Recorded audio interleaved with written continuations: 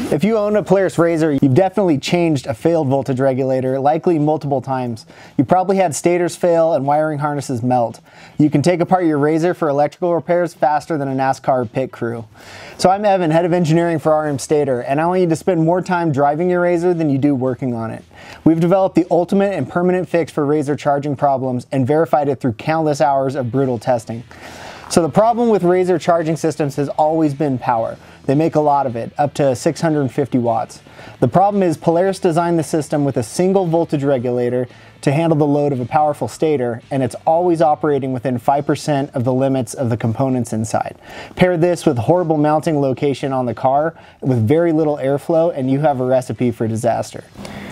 RM Stator has engineered a solution from a different angle, solving the root of the problem. We use a special stator with two completely separate windings. Think of it as two stators in one unit, each producing half the power of the original.